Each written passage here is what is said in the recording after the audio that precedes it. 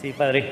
Eh, ¿Cómo debo entender correctamente, verdaderamente, teológicamente, las palabras que dijo nuestro Señor cuando estaba en la cruz? Padre, ¿por qué me has abandonado? Ese es el Salmo 30 y 22 o 32, 22 Marta, creo que es 22. Eh, Jesús estaba orando con el.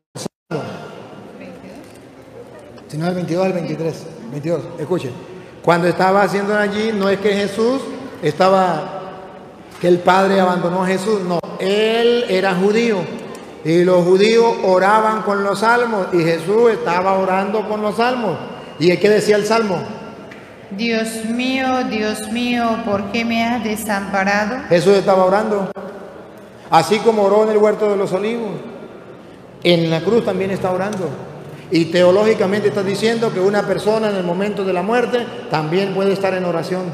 Ni la muerte puede separar del Señor. Gracias, Padre. Bueno, pues. Eh,